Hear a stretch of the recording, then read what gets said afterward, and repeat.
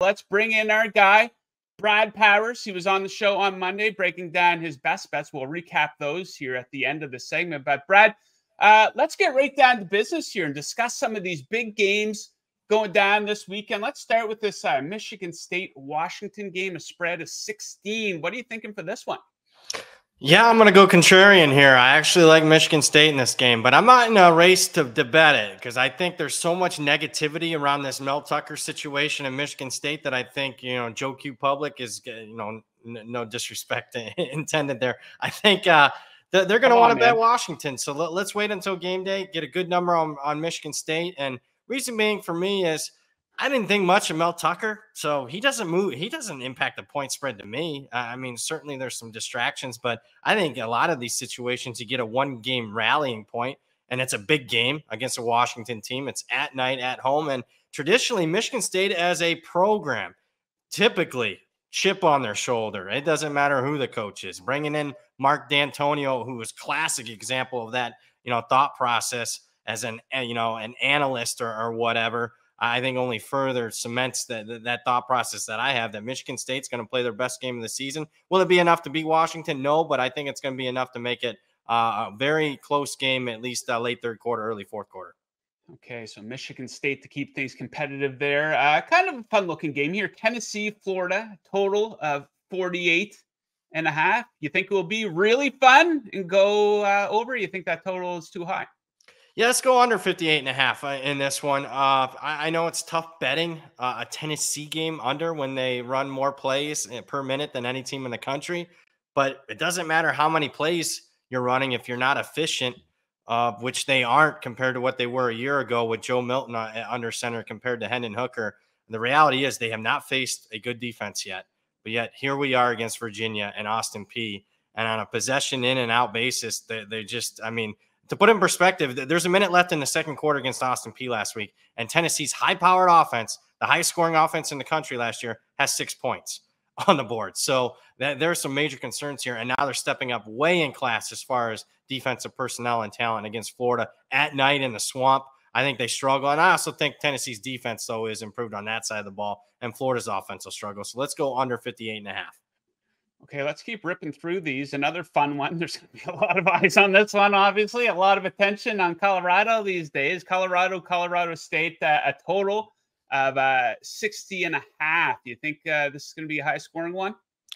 Yeah, so multitude of reasons why I like the over here. Number one, obviously, you know, I don't know why these coaches are doing it. They're, they're giving Deion more fodder. I mean, it came out today that, you know, I, I don't understand it, but uh, Jay Norvell, the, the coach for Colorado State, says – I don't know about you guys, but when I talk to grown ups, I take my I take my hat off and my glasses off when, when I'm talking to the media. Uh, so obviously a shot at Prime. So if Prime gets the opportunity to run it up on Colorado State, which I think they're capable of.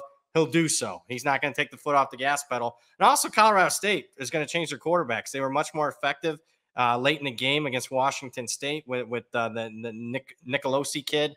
Uh, so I think they can have some success against the Colorado defense that hasn't impressed me. So I, I think uh, we're going to see a high scoring game late Saturday night, over 60 and a half for me.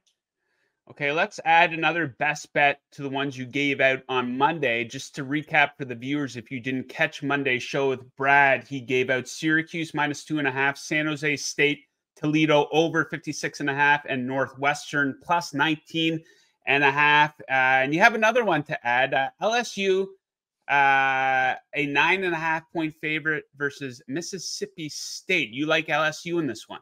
Yeah, this is my favorite bet of the week. Uh, and I know wow. uh, people are going to say, oh, early start time. Did you see LSU against Florida State? They got whipped. Mississippi State, tough place to play with the Cowbells. I'm here to tell you, I, I don't think much of this Mississippi State team this year. Uh, I saw them last week against Arizona. They're at home. Mississippi State is a touchdown plus favorite.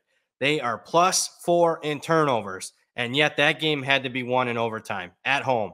Mississippi State against Arizona uh, when they were plus four in turnovers. Typically, when you're plus four in turnovers, you are covering well over 90% of the time. So the fact they didn't cover says that to me that they're extremely overrated. And I also think the public and the market downgraded LSU too much for the uh, the Florida State final score. The reality was six minutes left in the third quarter. That's a tie ball game. LSU's wide receiver drops what could have been a touchdown pass uh, that would have put them up seven late third quarter against a, a, really good Florida State team. So I thought LSU got a nice reset last week against an FCS school. Uh, they did what they needed to do, put a 72 spot on, on Grambling. So I think they bounce back here, and you know I think they win comfortably. In fact, I mean I, I'll take a 10 point win, but honestly, I think this is a 17 to 21 point win for LSU. LSU, there you have it. We'll lock that one in. So let's leave it at this, Brad. So we're getting right into the thick of things here a little bit. Is there anything that you've seen the first two or three games from these teams that has dramatically changed your opinion on either a team or a player based on uh, what you thought was going to happen coming into the season?